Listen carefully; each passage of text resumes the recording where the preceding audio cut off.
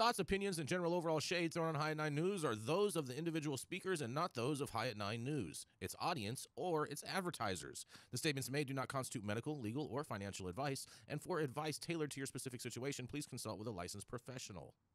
Welcome to the High at Nine News Hour, where you will hear from cannabis industry experts and professionals from around the country talk about important topics while shining light on global issues and discussing cannabis as it relates to politics, regulation and reform, data and technology, science, research and medicine, family and parenting, art, celebrities and entertainment, fitness, sports, mental health and wellness, and plant based medicines and entheogenics.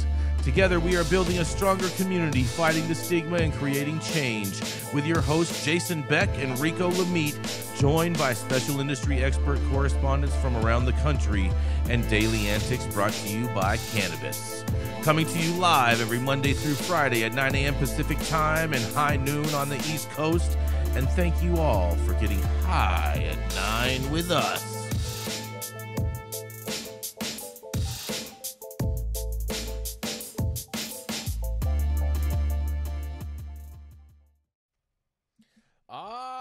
Yeah. Good morning, everybody. That's right. It is Monday, April 1st, and today is National Tomfooleries Day, you guys.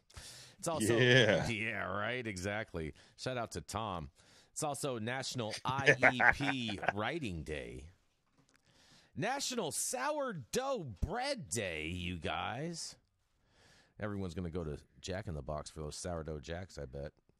It's also National One Cent Day for all you people that have a penny for your thoughts, apparently. And Take Down Tobacco National Day of Action. So, shout out to everyone who has quit smoking cigarettes.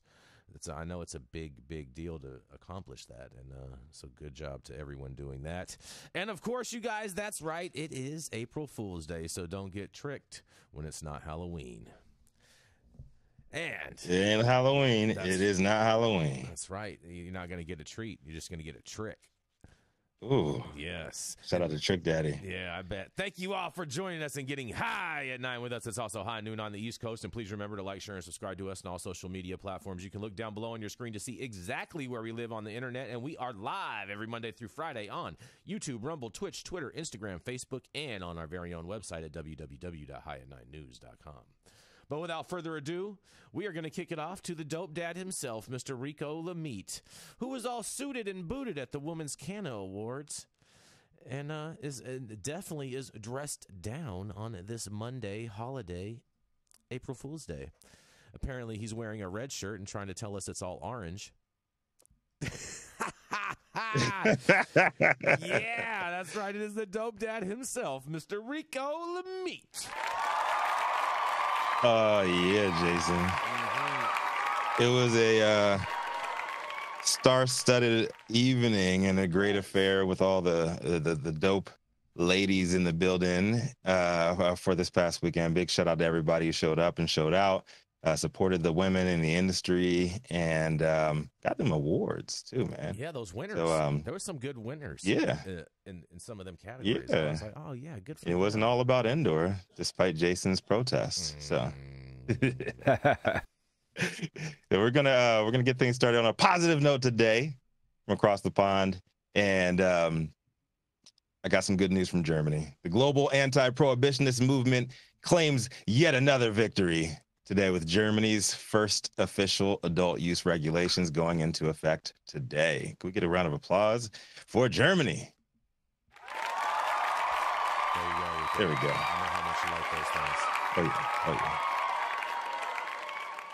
So the German Cannabis Association, um, which campaigned for the new law, um, uh, was celebrating and staged a smoke-in at Berlin's landmarked Brandenburg Gate when the law took effect at midnight.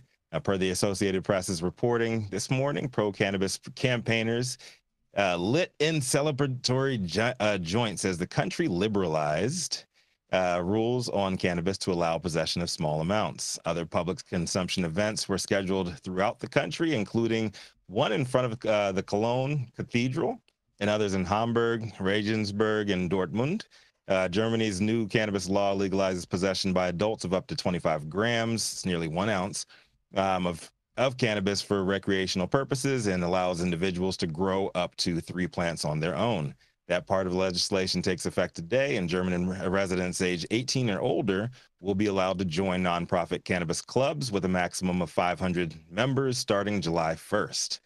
Individuals will be allowed to buy up to 25 grams a day or maximum 50 grams per month, um, a figure limited to 30 grams for people under 21. Membership in multiple clubs will not be allowed, and the club's costs will be covered by membership fees which are to be staggered according to how much marijuana members use. AP reported that the legislation also calls for an amnesty under which sentences of cannabis related offenses that will no longer be illegal are to be reviewed and in many cases reversed. Uh, regional authorities worry that the judicial system will be overburdened by thousands of cases.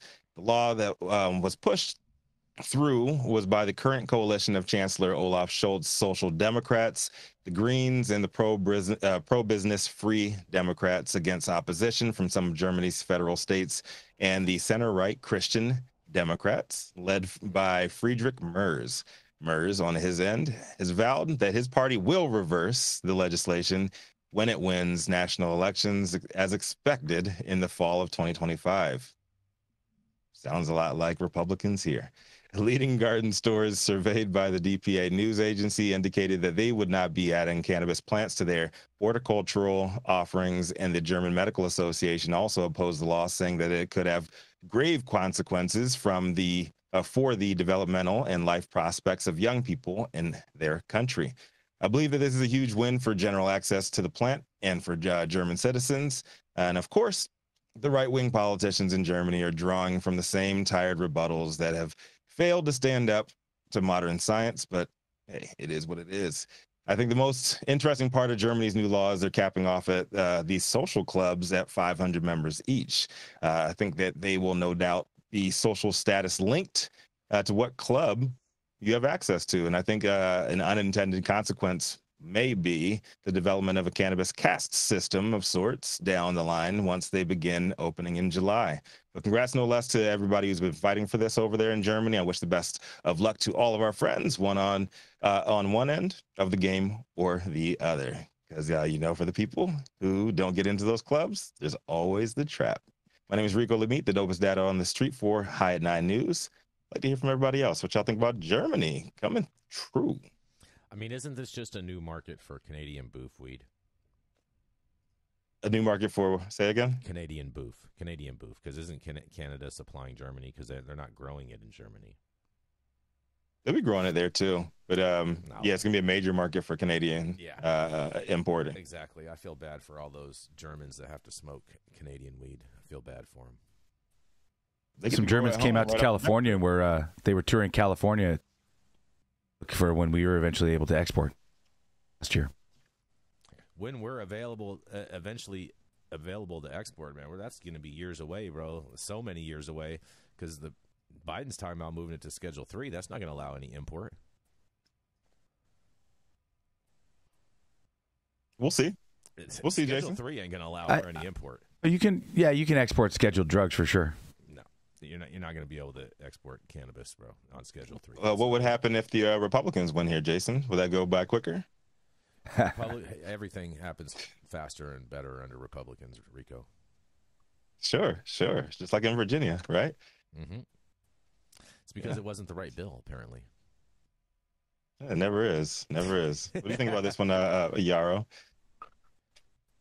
Well, I'm on. I'm kind of in one of those on the one hand, on the other hand mode, yeah, moods. Um, look at this. On on the one hand, uh, look, they're only the third country in the European Union to get off blocks and to do right. something, and so I think it's important for me to celebrate that. And on the other hand, some of this feels very much like an antiquated patchwork of policies that were around prior to the end of prohibition, like clubs and not for profit, and limiting how many members, and limiting how much you can have, and how much you can take, and how much per month. And what about the patient who uses more than two ounces per month? And so, uh, look, Germans make great things. clearly cannabis policy isn't one of them. Mm-hmm. And what I just mean by that is they um this looks a little hodgepodge, like a sort of sausage approach. Just kind of grind it up, throw it in there. Maybe this will work. Sausage Uh, I think it's I think it's better than nothing. Uh, Mhm. But I, I think that the participants will quickly come up against the limitations and failings of the this amalgamation of policy, and some of that I can see coming from a mile away, and we'll be able to cover it again here. Ya- Yarrow, would you would you call it this a wiener schnitzel?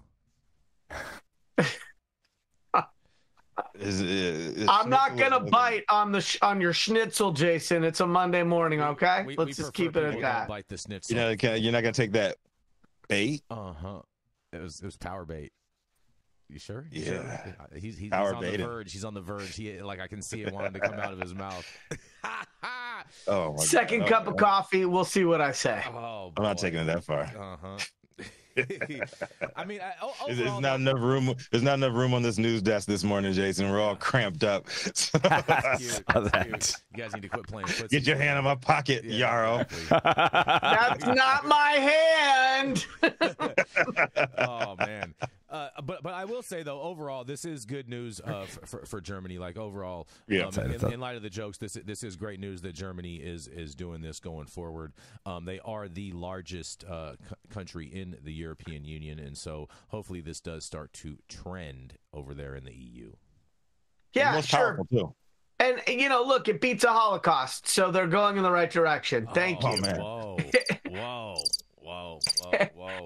And when we said let's get roasted, we did not mean more of our our kinfolk. So thank you. And we'll see what happens. Will they use these guidelines as Prohibition 2.0? Will they start arresting people who have 51 grams of cannabis? Will they start giving grief to organizations that have 525 members instead of 500 members? And will they have a reasonable interpretation of not for profit and still being able to be uh, to recapture the true costs. Mhm. And so if they do it in a way that is logical and ethical and efficient, it could work. It's not going to happen. That You're living in a dream. I'm wondering if we're going to see that tsunami of uh, Colombian weed everybody's been talking about go to Germany. Oh yeah, you're this going to see that too. You're going to see that too. That's for sure. The, the Colombian Very interested in, in Very- that looks like. that that is definitely going to be. Will it happening. be uh, legal or the the illegal stuff you're talking about? Oh no, the Ill- illegal export legal- from legal Colombia. export. Colombia has been Yeah, building some yeah. real huge super grows uh, with this thought that they were going to be the first to export to Germany once Germany legalized and allowed import. Yeah, they've got a they've got a lot riding on uh, uh, the EU. Colombia. They have a lot riding on their schnitzel, and on that, we're going to go to a commercial. and we're going to be right back. Oh man, that was weird. Hey, you America. Do I look like Sean Connery?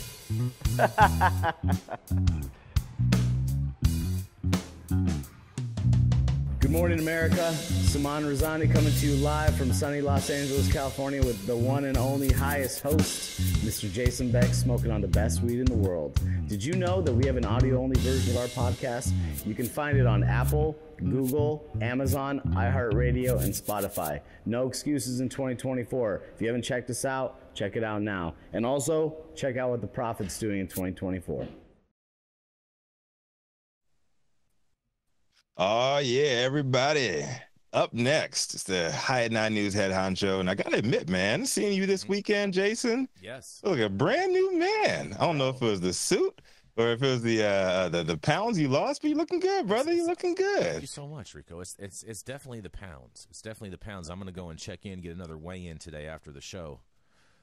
You know, you know, I'm just uh, joking though, because it's April Fur- Fools. You look like shit, Jason. You look terrible. Oh, See, now I know that was your joke. That was your. your I'm just messing with you, joke. Papa Bear. It's not reverse. Y'all know who it is coming to the stage, Jason Beck. Oh yeah! What's up, Rico? Man, oh man, Rico, do I have a story for you today? Oh man, it's the gift that keeps on giving because from rated to rewarded, New York's unlicensed cannabis shops get a license priority sparking outrage, you guys. That's right. In the three years since New York has legalized adult use cannabis, the ex- explosion in ah. unlicensed cannabis shops has drawn the most eerie among, or the most eerie among legislators, law enforcement, and residents. The subject has galvanized lawmakers on both parties, Governor Kathy Hochul, and stakeholders in the state's legal cannabis industry, prompting public outcry, new legislation proposals, and the governor calling the whole thing a disaster. But as the application for general licensing moves forward, some uh, some stores that have been allegedly operating illegally for a significant period of time have received higher priority for licensure, as well as proximity protection. This means that applicants who followed the rules but happen to find themselves lower on the licensing queue are now being blocked from applying for retail licenses at locations within a thousand feet of illicit shops or 2,000 feet in less densely populated areas. In quotes, it's not fair. It's a slap in our face, said Freddie Herrera, whose businesses Got Your Six Dispensaries is applying for a retail license. Herrera had spent over $200,000 in rent and legal fees to secure a legal cannabis dispensary storefront in Manhattan before state regulators at the Office of Cannabis Management told him his location is off limits. That's because another applicant had already claimed a location about 500 feet from Herrera's. Even though that applicant, Free Thinkers LLC, had been raided by the OCM at least twice for allegedly selling cannabis without a license. In quotes, I honestly think any location that has been raided more than once needs to be taken off the map completely, Herrera said. New York Cannabis Insider wasn't able to reach anyone from free thinkers to comment, and according to the OCM, those who have participated in illicit cannabis sales since the Marijuana Regulation and Taxation Act passed in 2021 are not eligible for licenses. In quotes, applicants found to participate in the operation of illicit, illegal cannabis dispensaries will not be recommended to the Cannabis Control Board for licensure end quote, an OCM spokesperson told New York Cannabis Insider. The OCM says that the regulatory review of applicants' proposed locations is done separately from a review of the full application, and proximity protection does not guarantee an applicant will receive a license as in the case with free thinkers, they say. But the idea that stores have opened illegally and never actually granted a license is a little comfort to, lic- to licensees that uh, the, and applicants who say they've been uh, fa- fastidious in obeying OCM's rules and to others who have endured huge losses to stay on the right side of the regulators. In quotes, the people who did the right thing should have been rewarded, and I'm not sure that's what happened, said uh, Jason Ambrosio, owner of the licensed processing company Veterans Holdings, which which also runs a licensed CBD store outside of Albany called Veterans Hemp Market. In quotes, I think it just sends the wrong message to people who have done done the right thing, he says.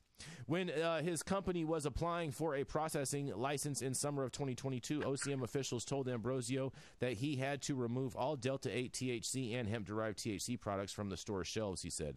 Regulators started raising the prospect of banning hemp derived cannabinoids such as Delta 8 uh, less than two months after New York legalized adult use back in 2021, and the Cannabis Control Board set strict rules for cannabinoid hemp via emergency regulation in July of 2023, then by full regulation in November.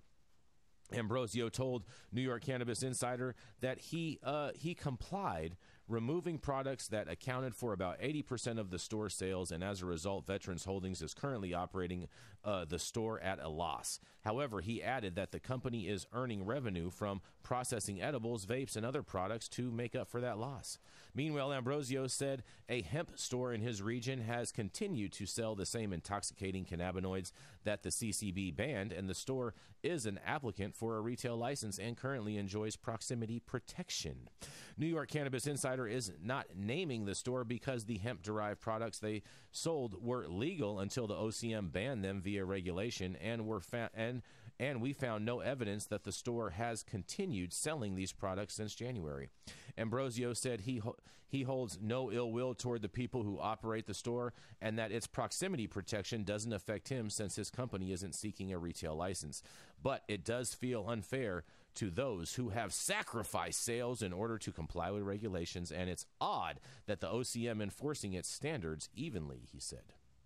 Issues surrounding enforcement are nothing new for the OCM, according to a leaked audio which NY Cannabis Insider reported in November. OCM officials have been aware of out of state companies breaking regulations but have declined to enforce their own rules.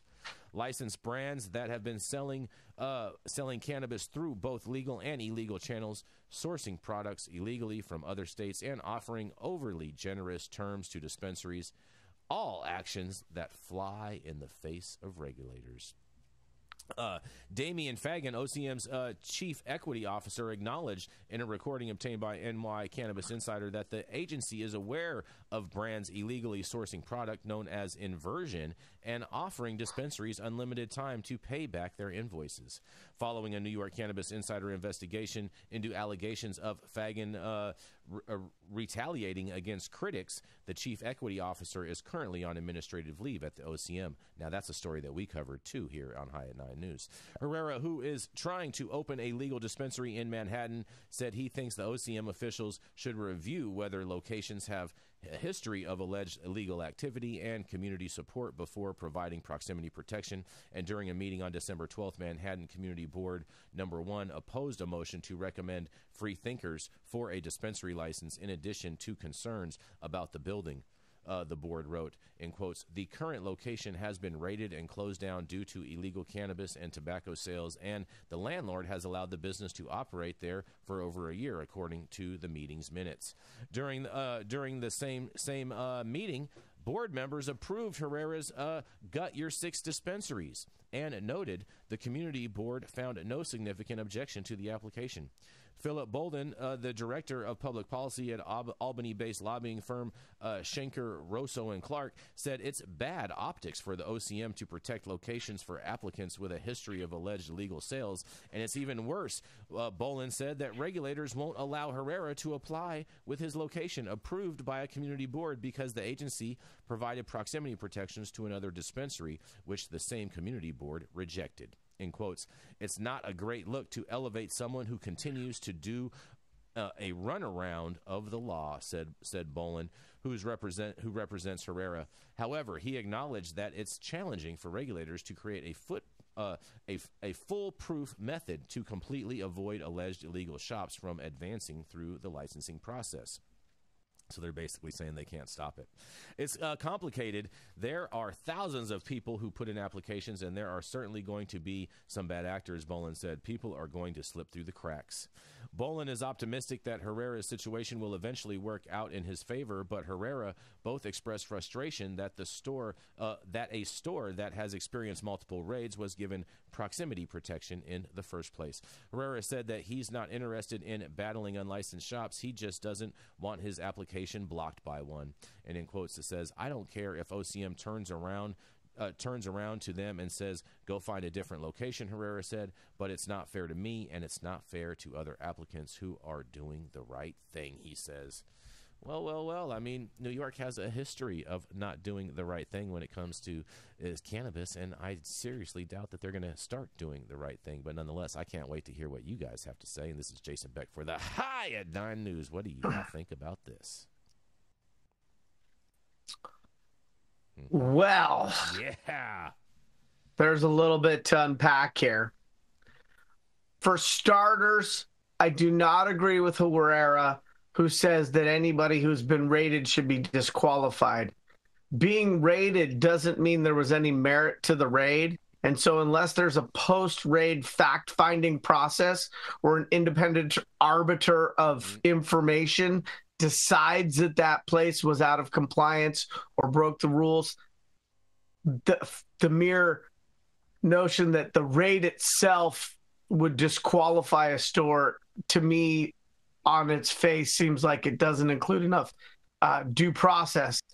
The other thing about Herrera is he said he spent $200,000 on legal and rents before he found out that he was what we call radiused out by the 500 feet. you should have talked to me, dog. I would have helped you lower your startup costs prior to figuring out that there was a location less than 500 feet away that would disqualify. So while that is unfortunate, that is also something that is avoidable. Not the legal fees, And the legal fees, articles of incorporation, entities, blah, blah, blah, that's going to apply no matter where you're doing business. Mhm. But the fact that you were a quarter million in before uh, you this this this notion that there was a nearby pen, permit pending retailer that would disqualify that location, some of that is avoidable. Doesn't mean I don't feel bad, but it does mean that some of this, you know, people look at their their losses or their costs to date and they say, look, look, I've got this much in, and yeah, you do have this much in, and how much of that is is, is based on proper execution, best practices, and how much of that isn't, I don't know. Um, thing that's really challenging is uh, we know that prohibition doesn't work. We know that pitting regulated against unregulated is probably not going to work.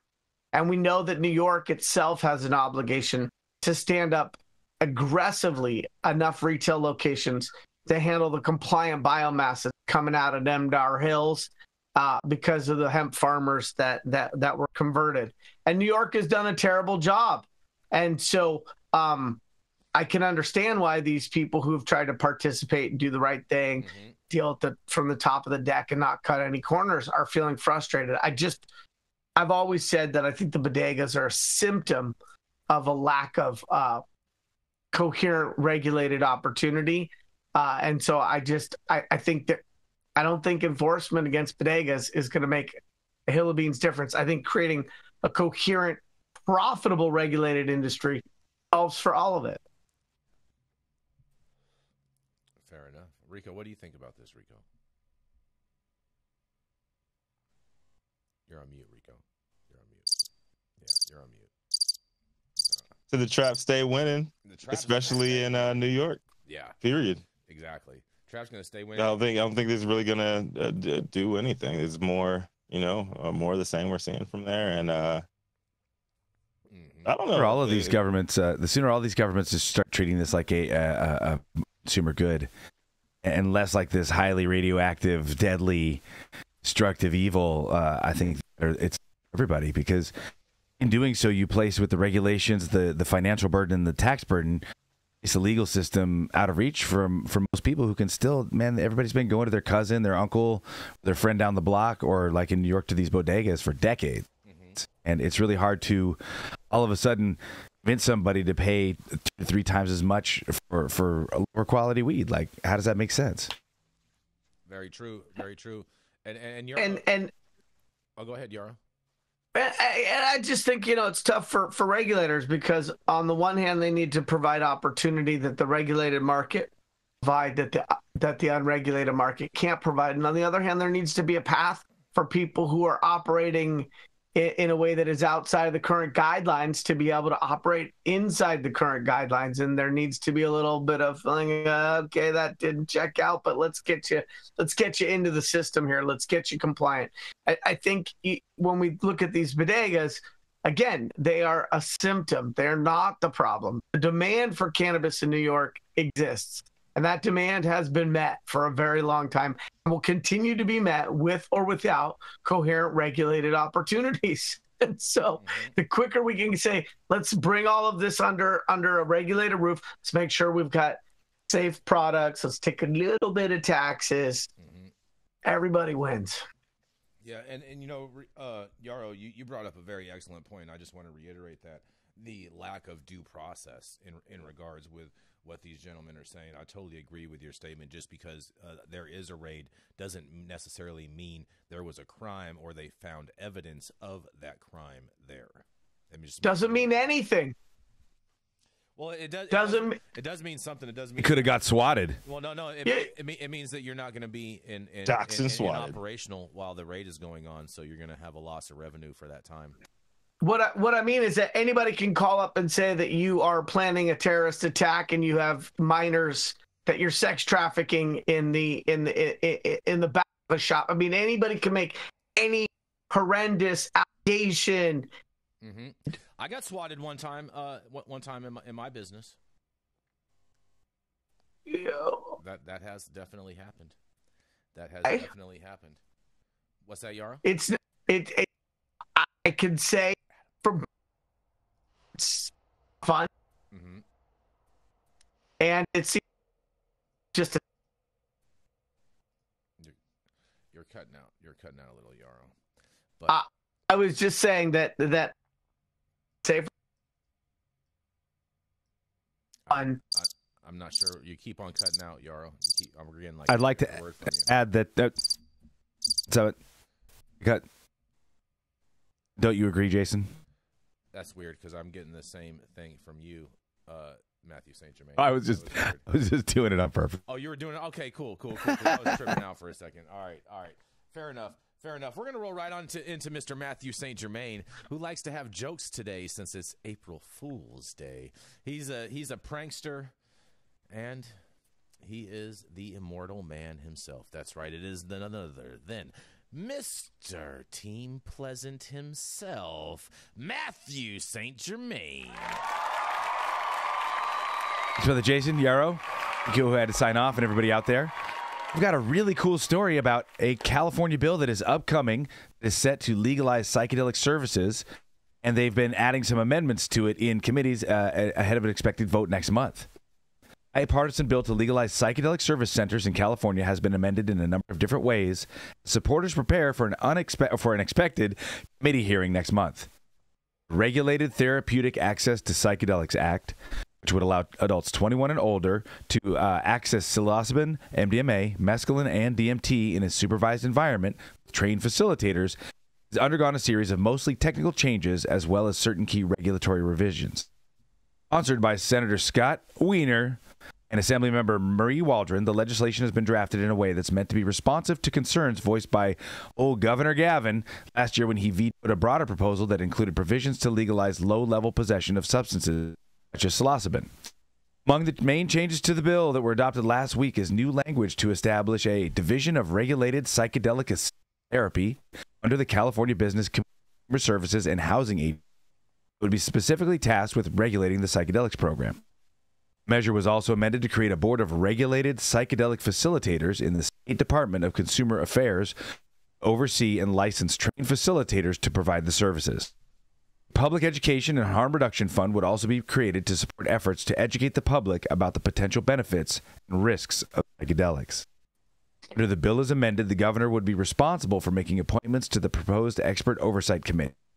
Legislation was also revised to clarify that psychedelics covered under the measure could only be used in the context of a regulated facilitation at approved locations. Other mostly technical changes included clarifications around data collection requirements, definitional changes, the removal of duplicative language, and uh, facilitator enforcement provisions. Main difference in the overall legislation as compared to the bill that the governor vetoed last year that the earlier proposal sought to remove criminal pen- penalties for psychedelics possession outside of the regulated service con. That said, the current measure does not lay out any specific qualifying medical conditions that a person must have in order to access the services. Wiener told Marijuana, Marijuana Moment last week that he still expects the bill will receive consideration in a committee hearing next month. It's been referred to three separate panels.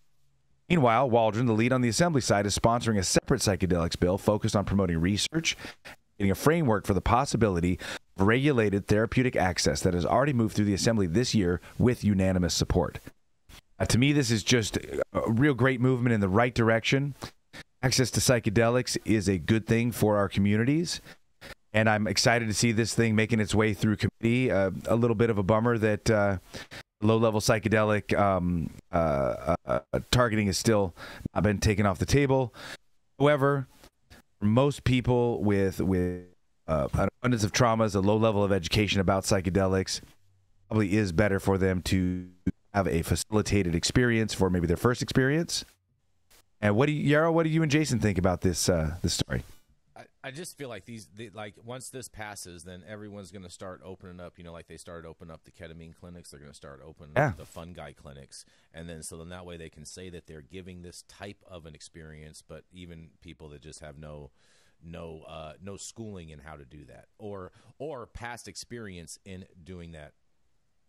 You know what I mean? You know what I mean? Uh, I'm sure there's going to be a rush of, of, Yeah. of people to, to come in, and that's kind of how the business space works, though. You know, as everybody gets an opportunity so. it's called uh, find a need and fill it, right? And There you go. And so here's the thing, right? When we're talking about psychedelics, things that could make you see things, things that might lead to judgment that might not be so safe and sustainable. The idea that you would have a trained facilitator or guide is sound policy, it's practical applications, and it's consistent with the way in which indigenous communities took psychedelic plant medicines going back thousands of years. Nobody just took a heroic dose and went off into the woods. People had guides, they had people who were experienced in these things who were making sure that they were going through the process in a way that was safe and sane and sensible. So the idea that we would do that to me doesn't seem like it's uh, cutting edge. It just seems like we're saying, okay, we want to decriminalize these people to be able to take these psychological, spiritual journeys, and we want to make it that they're not climbing the top the bridge and thinking like a swan. So I love all of this, and I make money on this. begin cutting related industry, and up is just whatever abilities operate, whatever margin. So, we also just get we're mi- we're missing you, Yarrow. Yeah, yeah, we're getting like every other word from well, you. We're getting a short on your mic. I'm sorry because you're making great points. Can, can you hear But- me now? Can you hear me now?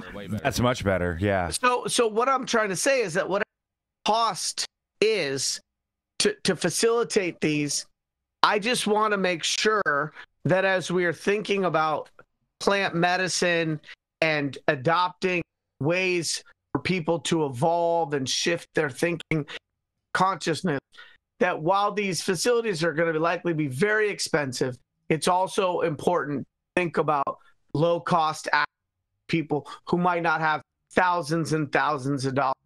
I just want to make sure that as we that it isn't just for the well-to-do, that it is for the rich, it isn't just for certain tax brackets. And so if they charge a lot of money for these facilities, I would just hope that they allocate like some scholarship type model so that other people can also go to these n- new facilities and benefit from the treatment. Mm-hmm. Agreed. Agreed. Uh, and they are going to have a policy, uh, a regulatory body to uh, certify folks would be facilitators. So there will be some sort of there will be some sort of of of, of regulatory uh, criteria. So maybe that you know that'll lead to both better experiences as well as not just anyone at all rushing in. Case. I would also hope that they would use some sort of uh, psychologist on on the board or on the uh, staff of each Mm-hmm. uh, uh, each of these businesses in order to just protect the mental health of, of folks who are doing it. Um, and, and going back to you know, the fact that MAPS, uh, as well as the ketamine clinics and all these different modalities that are that are that are emerging, are all charging thousands and thousands of dollars for the treatment. Uh, while I don't agree with that as a model, this points to the that sore spot that is our current system. You know, we live in a system that is designed to aggregate wealth in hands as possible, and and is uh, designed also to cater to the rich, and and uh, as well as providing prejudice to the the not so well to do. So really, continue every every one of these stories that we see continues to point to the same thing, which is that the system that we're enmeshed in is not actually working and functioning for the vast majority of people, and we really need to get back to the drawing board on this somehow. Is that going to happen ever? Don't know. No, I, I, I doubt it. I doubt it. I doubt it. But on that, we're going to go to a commercial. We're going to be right back. Thank you so much for that, Mathieu. The Control Tower from Highly Educated has perfected the dab. Utilizing the concept of thin film evaporation, you can waste none of it and taste all of it. The micro texture of the SE pillar increases nucleation at elevated temperatures. And with the tower propelling at 2600 RPMs, it's certainly the most efficient dab experience to date. The Control Tower from Highly Educated. Oh, yeah. Stop whatever you're doing. Make sure you hit that like button. Also, subscribe to the channel if you have not subscribed already. And all of the stories that we cover on today's show, you can read directly on our website at www.high9news.com. I'm Jason Beck, and this is Smoky Vanilla. And if you, want to feel as good as I look, then you need to get a stretch and smoke with Smoky Vanilla. Hi, I'm Smoky Vanilla. I have my bachelor's degree in kinesiology, and I'm a sports massage therapist and stretch coach. I focus mostly on individuals that are in sport with chronic pain or injury. I love to intuitively create and customize a session based on the individual that I'm working with. We'll go over a few postural assessments, work together to create a wellness journey based on the health history, past injuries, or anything still affecting you today. And we'll get you back on your feet right away with less pain.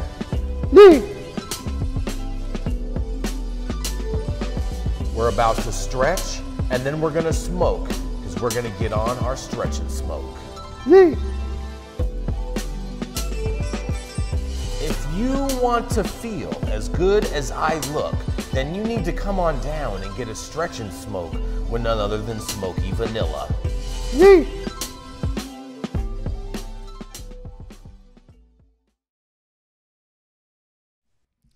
Ah, yes, and we're back, and we're going to roll right into the Sebastopol sage himself. That's right, it's Mr. Yarrow Kubrin, who does real estate.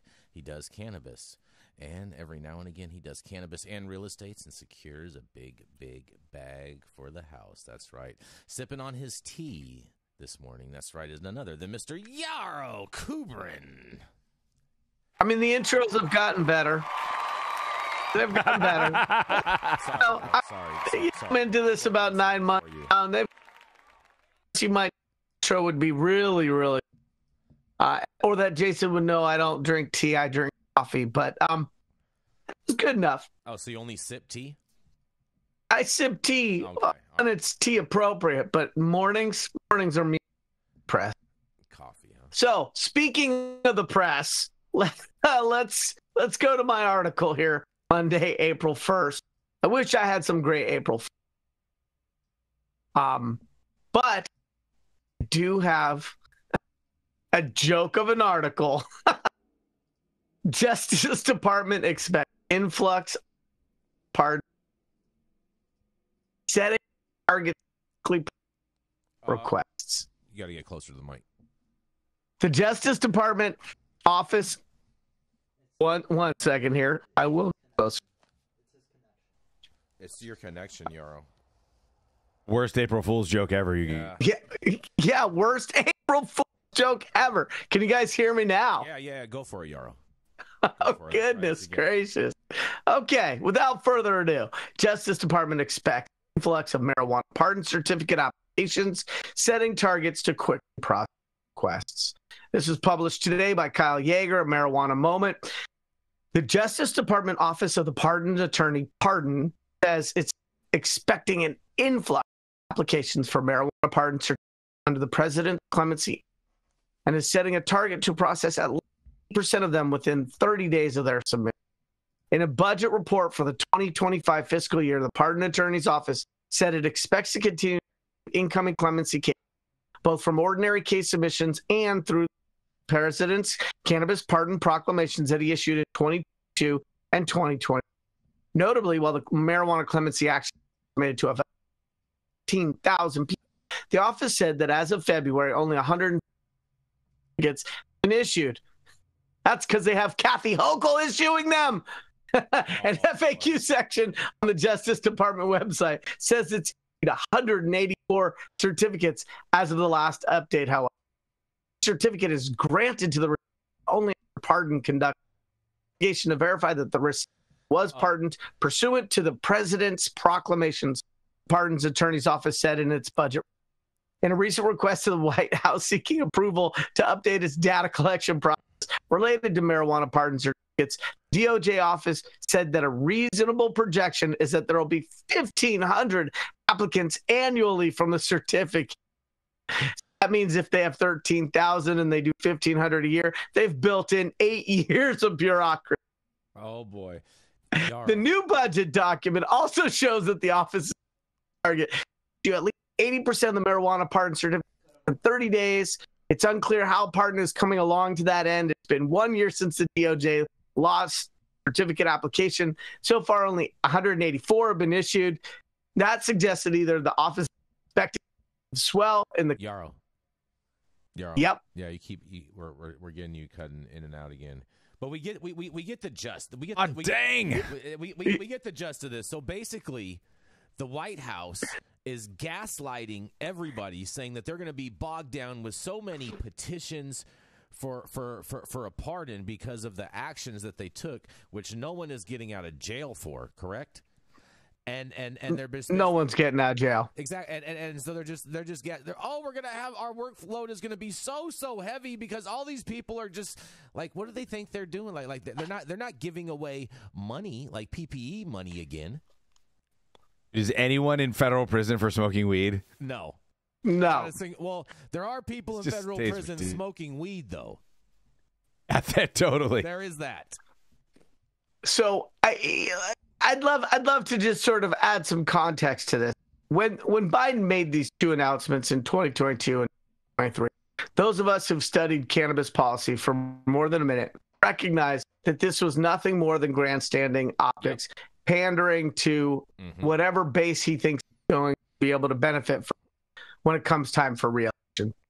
And his vice president has done a fantastic job saying a lot about them doing Mhm. and so when these 13,000 eligible uh, pardon opportunities came, to Mathieu's point, we pointed out, highlighted how practical effect of this change was going to be little to none, and that most people who are serving time in federal prison cannabis are not serving time for simple possession. And that frankly, nothing about cannabis has ever been simple or or such that a supply chain would lead itself towards somebody having just possession conviction. And then they came out and they trumpeted this certificate and teased them on this show about like the certificates that people get when their kid makes the month and how this thing we hoped it might have a little bit of gold foil or some embossing on the edges. And so now they've got this 13,000 maximum. They've hmm. processed less than 200. They're talking about processing things for up to eight years. And the thing that comes to mind for me is the way in which government creates its own bloated bureaucracy. Is there not a way to be automatically done through some type of automation, systemization, doesn't require any sort of interaction with the recipient, and they just get done and then shot out? Or like when you lose some money, the state of California says, okay, we've got to come to us. Mhm. Awesome. You're cutting again, Yarrow. S- six years like I'm later. high on acid, you guys. Yeah. Six years later, can you hear me now? No, we not, yeah yeah we, yeah you just we, Uh, we hear you. We- terrible. And, then you just So- cut out. So the point is, these certificates matter not at all, and nobody is going to take the certificate and use it to get a better interest rate on a mortgage. No one's going to take the certificate and use it to get a job. So the certificates are of symbolic benefit. And so if we create big bureaucracies to process symbolic benefits, it's what has government actually done for the people who were most harmed and most impacted? And the answer is, eh, nothing. They've gaslit them. Yeah. They've gaslit them, and, and they and they have chosen at the same time too to stand on all of their pain and suffering, and try to proclamate some great grandioso gesture that is trying to help people that that that really isn't that big of a deal. No, it's not. What are you gonna say, Mathieu? I see it. I see it coming. I'd just like to see them pardoning people who are actually in federal prison for. Agreed. Uh, totally. I'd like to see Biden go after the guy who's still stuck in Russia for cannabis. yeah. I mean, if they wanted, I mean, if they want to do some things, they could do some. There is there is some things there is some things that they can do, and there's some things we can do too. And we're going to go to do that and go to a commercial. We're going to be right back. Get ready for the return of the shit show to Los Angeles, returning Friday, May 3rd, 7 p.m. to midnight at a brand new venue. Comedy sets by comedians such as Demi York, Lindsay Ames, Alyssa Phillips, Chris Thayer, Josh Shakespeare, Fumi Abe, Jay Snow, Brent Weinbach, Chris Kelly, and hosted by none other than Abdullah Saeed. So head over to www.cloudmedia.partners now to get your tickets, and we'll see you there. All right, all right, you guys. I got two, two, two, two stories, and and and and and we're out of here today. Are you guys? Are you guys ready? Yes. I think you guys are going to like this. This one is super, super interesting, you guys. It's out to my friends out in Michigan. Why Better Made is suing several Michigan marijuana companies, you guys. Better Made is suing companies behind several Michigan marijuana dispensaries that's, that they say are selling products with an altered or unauthorized version of the snack food company's logo. The popular Mich- Michigan potato chip company filed a lawsuit Wednesday, March 27th, against nearly 20 companies and the marijuana dispensaries they operate in the state. Better Made says the businesses are selling a cannabis product labeled Better Smoke, whose logo is a spin of their own. Better Made claims to use to, to use of their uh, distinct logo design by Better Smoke is is damaging to their brand, since customers may wrongly assume the cannabis products are affiliated with the food company. The defendants named in the lawsuit are being accused of federal trademark infringement and dilution, among other things, or excuse me, dilution, among other things, and included among the defendants are several companies and their dispensaries from all across uh, all across Michigan, from Traverse County to Grand Rapids to Adrian and throughout Metro Detroit. Better Made is asking the court to make these companies give all of their profits from Better Smoke products to the actual snack foods company. You guys. Oh man, oh man, oh man. It's clear that the Better Smoke logo is a play on Better Made's iconic design, which has been around since 1930. But trademark parodies are actually pretty common among cannabis products at, at, um, at at least Michigan's dispensaries. Here's a look at trademark parodies and why Better Made may have an actual case, you guys. The makers of Better Smoke um, aren't directly using Better Made's logo. They are, however, using a nearly identical design, but with different words that indicate they are selling a different product under a different name.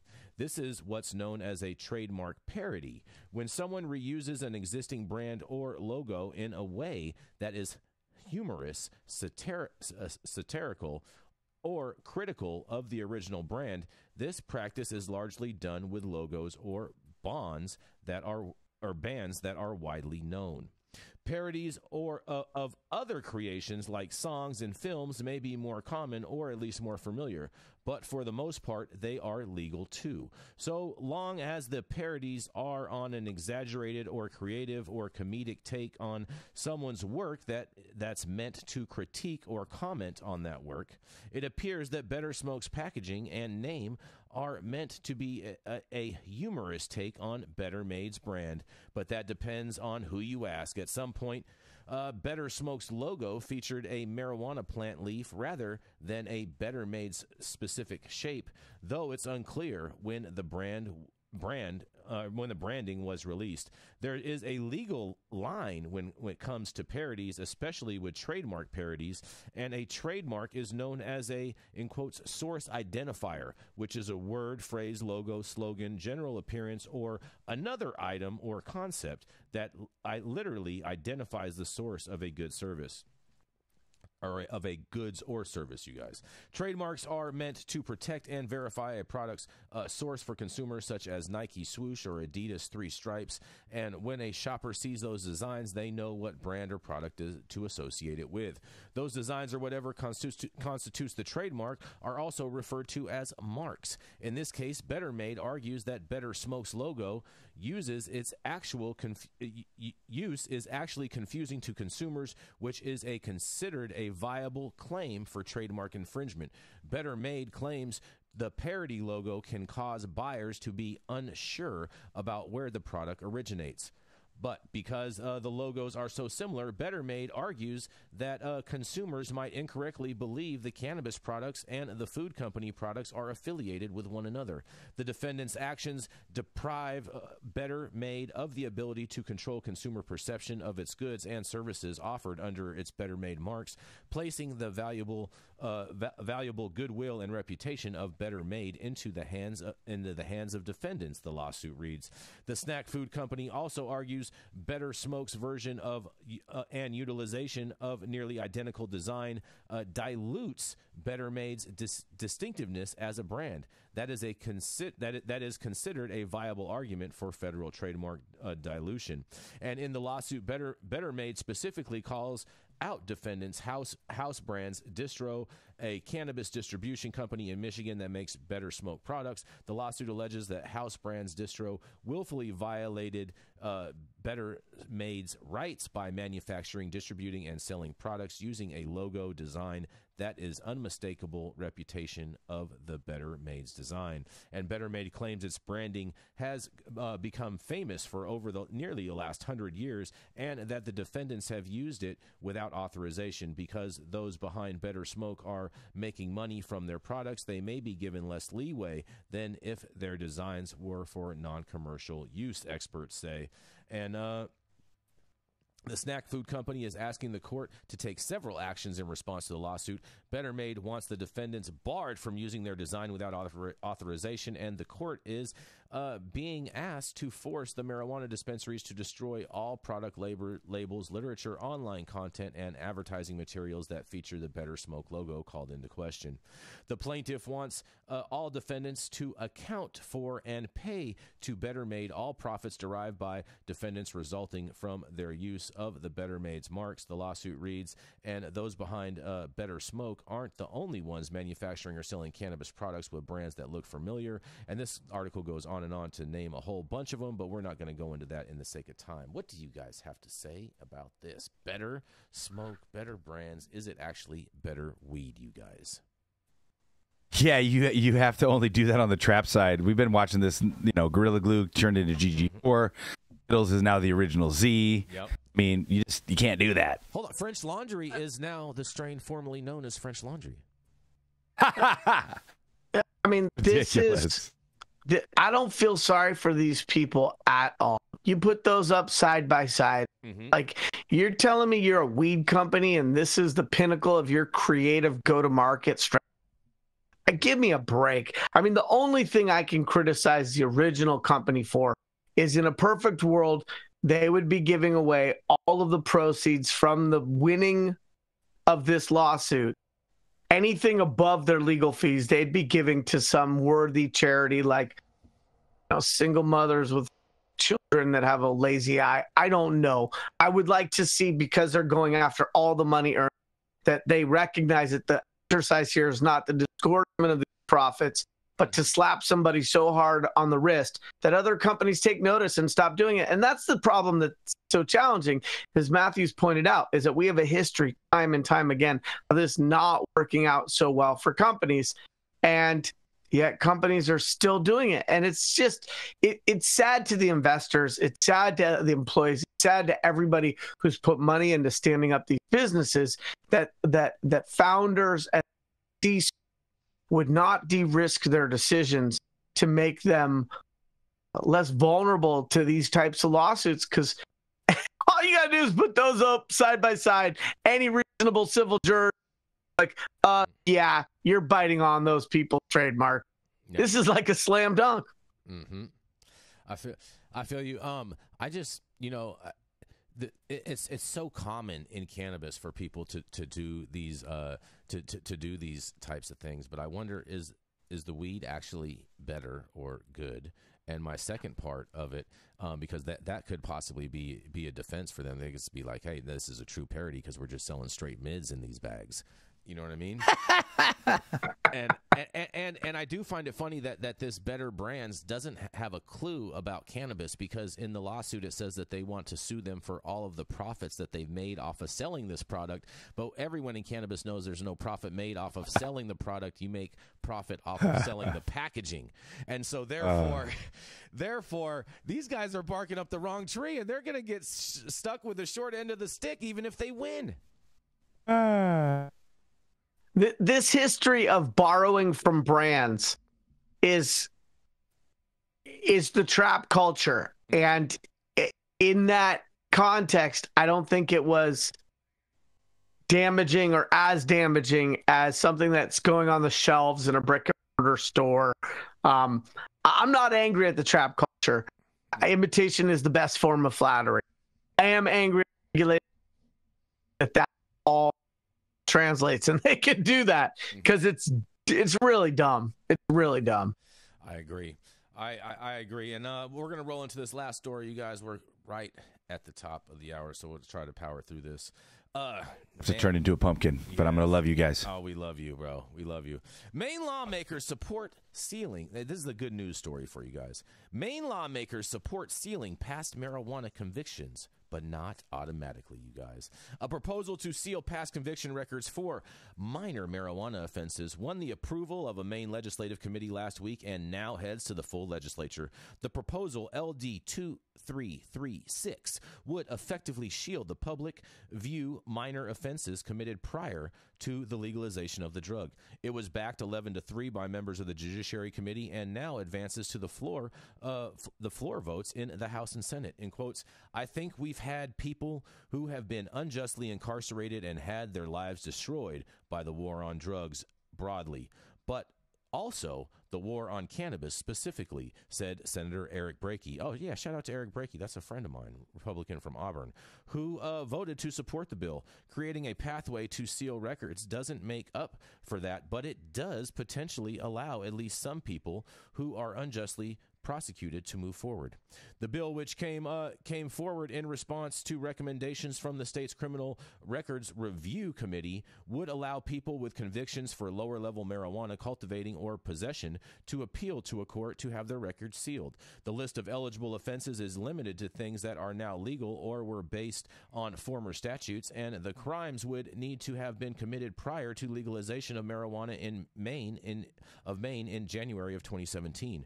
A majority of committee members rejected another bill which resulted uh, from the Records Review Committee's findings that would allow people with low level marijuana possession and cultivation crimes to have those records automatically sealed. Ten committee members uh, said that that uh, bill shouldn't pass, while a bipartisan minority of four lawmakers backed passage of the bill with an amendment that the same list of marijuana related crimes eligible for sealing by a judge would also be eligible for automatic sealing. The proposal will still be voted on by the full legislature and the Maine judicial branch of the branch and state bureau of identification both testified against the automatic sealing bill saying it would take significant time and resources to automatically seal the records in question. The Maine Press Association also testified against the bill. Representative Adam Lee, a Democrat from Auburn, said he was concerned about the logistics of enacting the bill and was moved by the Press Association's argument that the automatic sealing of the records would be a First Amendment violation and reduce government transparency. But Representative Matthew Beck, Democrat from South Portland, who, uh, and no relation to me, who voted with the minority, said he worries that the process of appealing to a judge would be easier for people who have greater access to information and legal representation. In a quote, the people at the low end of the economic ladder who are struggling and are likely going to be left out because they just don't know about it, he said. A majority of the committee also voted this week to support two other bills that came out of recommendations from the Records Review. One is LD 2218, which would remove the cap in current law that only allows adults age 18 to 27, not anyone older, to have a minor criminal record sealed by a judge. They also endorsed LD 2252, which would establish the Criminal Records Review Committee as a permanent commission. And the committee was established in 2021 as a temporary body to explore ways to help people who have been convicted of crimes and serve their sentences to become productive community members without their convictions holding them back. And Governor Janet Mills submitted testimony against all four bills, though they have since undergone amendments. If the governor were to veto any of the bills, a two thirds vote of the legislature would be needed to override the veto. And Maine is one of the uh, Maine, Maine is one of at least 31 states that have legalized, decriminalized the adult use of cannabis, and many of those states uh, have since re examined the way they treat criminal offenses related to the drug. About two dozen states have expungement or sealing law specific to marijuana offenses, you guys. Any thoughts, Yarrow, on this? Uh, my thoughts align with what I had said earlier about the certificate or the pardon and certificate program with the government, which is that anytime you have one of these processes, if it's not automated, if it's not just done systematic, I think it creates a lot of administrative and bureaucratic burden. Mm-hmm. Ultimately, the taxpayer foots the bill for. And so I'm in favor of these processes and not in favor of requiring individual beneficiaries to have to interact with the government in order to receive this outcome slash benefit. And so the idea around this First Amendment right and, violating free speech uh, by by sealing these records, I think is absolutely outweighed by the public benefit of reducing the cost process uh, the the records of all the people who would benefit from this change. I wish the article had indicated to us how many people could be affected uh, by this, and I wish that when people thought about changing laws to benefit the greatest number of citizens, they do it in a way where that system systemization, that automation is not born on the back of the recipients. I'll give you a perfect example. Back in the day, back in the Paleolithic era of regulated cannabis, six or some odd years ago, the district attorney in Sonoma County decided to do an expungement and decided not to just automatically do it, which would have meant that people were going and contacting the courts and doing this for themselves and figuring that out and calling tech support and all that back and and assistant district attorneys were going to have to process these in court and blah blah blah blah blah blah blah blah blah. And then the district attorney of San Francisco came up with a similar program or already had a similar program, but had it automated, systematized so that nobody had to do anything. It existed, they were going to process it, and it was what it was. Mm-hmm. And the district attorney in Sonoma County pivoted, folded like a lawn chair, and changed her position to also automate these processes and systems.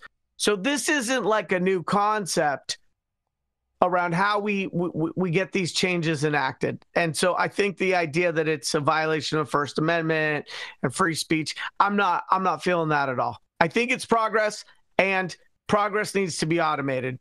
If if if if if I have a dishwasher and I have a Roomba, y'all can figure out how to do it on the law side and not have individual citizens have to go back and because what that lawmaker said about it disproportionately impacting people at the lower end of the socioeconomic spectrum and and the and the, the, burden to them is in my mind absolutely accurate and and can be avoided yeah no I, I think I think overall this is good. I mean, I'm not surprised to hear that the that the governor uh, did this, and I, I do want to send a good shout out to my to my buddy Eric Brakey. I'm glad glad you were quoted in that article. I know you do a lot for uh, for freedom up there in Maine. So shout out to Eric Brakey. And uh, and hopefully this hopefully this gets passed, and hopefully with a two thirds majority, so then that way we don't have to worry about whether or not the uh, governor is going to veto it or not. That's my take on it. Yeah, that was, you, and you do a good job reading the articles, not just uh, uh, reciting them, because to your point, the governor had indicated that the four bills of which yeah. this was included weren't going to fly, and so that's that's equally distressing to me. Well, well, I, I, just think I just think it actually is is a good thing. Like like if I was a legislator, because because that would motivate me to make sure that I knew that I needed to get a different number as opposed to just a passing number of delegates to to to vote on its behalf. And so so at least you know where you stand and what you what what numbers you need to hit as your threshold um, in order to move the bill forward. Because otherwise, you just stall the bill out and just wait for wait wait until it, it can get passed. And that's generally how government works. Whatever it takes for progress, I just want to make sure that we're not going through the motions. And some of these things are just theatrical grandstanding. And so, uh, legislation that's proposed where there's not clear line of sight on uh, something bipartisan coming out the the tail end of that process uh, mm-hmm. always alarms me. I, I want to see stuff get done, and this doesn't seem like it's a big lift. This is not a big ask. Mm-hmm. To me, this is something that should be done both federally and at the state level for every state. Fair enough. Fair enough. And on that, we are going to wrap this show up. Thank you all for joining us and getting high at 9 with us every Monday through Friday at 9 a.m. Pacific and high noon on the East Coast. Big thank you to our audience and supporters for tuning in daily and listening to the insanity that is the developing cannabis industry. Thank you, Yarrow, Mathieu St. Germain, Rico, all coming in today, this Monday. It is the most important day of the week. Huge thank you to all of our sponsors, and thank you all for tuning in and getting high at 9 with us. We are America's number one daily cannabis news show.